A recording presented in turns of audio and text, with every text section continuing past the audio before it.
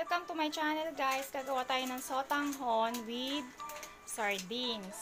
Yung mga ingredients natin, sibuyas, onion, garlic, and garlic, bawang, sardines, kahit ayan yung sardines guys, ito yung asin, salt, mantika, oil, itong ating sotanghon, guys. Kahit maliit lang. Kung konti lang naman ng kakain, di ba? Ito, guys, paminta. Paminta natin yan, guys, ha? Konting paminta lang. Konting mantika, guys, ang ating ilagay sa ating kaserola. Tapos lalagyan natin yan sa baw mamaya, guys. Tapoy. Initin mo na ang mantika. Ito yung mantika pa initin.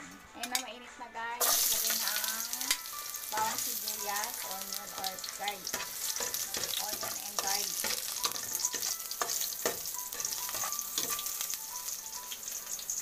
Or ayaw ng onion and garlic guys, mag mag ganito kayo seasoning. Magic sarap kung ayaw ng onion and garlic. Ayan, seasoning All purpose yan. All in one. Kaya na ang ating sardines, guys. Ayan yung sardines brand. Ito yung, guys, kung gusto niyo rin ng konting tap-tap ng inyong sinabawan na watanghon with sardines, pwede din, guys. Lagyan na natin ng konting tubig, guys. Ayan. Meron ng tubig guys para may sarsa siya sabaw-sabaw sa ating mamaya pagkain ng kanin.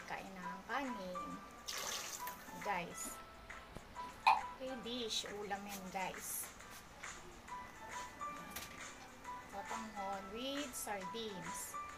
Hmm, namoy ko na guys. Smells so good. Delicious. Hmm. Konting asin guys. Salt. Ayan konting paminta, guys. Ating paminta. Natin kumulo, guys, at ilagay ang sotanghon na. Takpan muna natin, guys.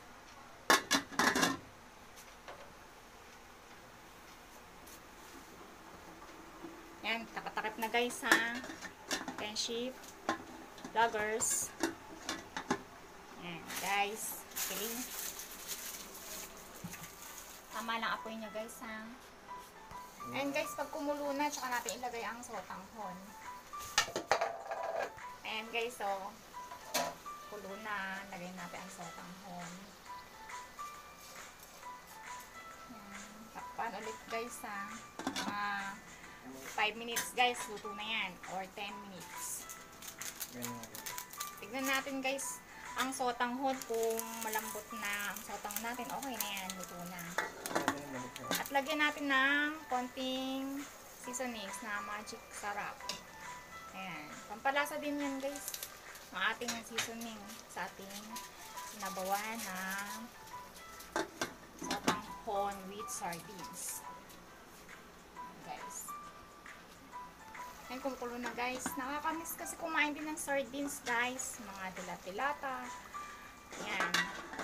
Pag namiss nyo kumain, magluto lang ng sardines with sotanghon. And guys, ang ating sinabawan na sardines with sotanghon. Ayan, sotanghon guys. Guys, pwede din miswa ilagay nyo kung gusto yung miswa or sotanghon sa inyong sardines. Ito na guys ang ating finished product na sotanghon with sardines. Ayan guys, oh, delicious guys yan, oh.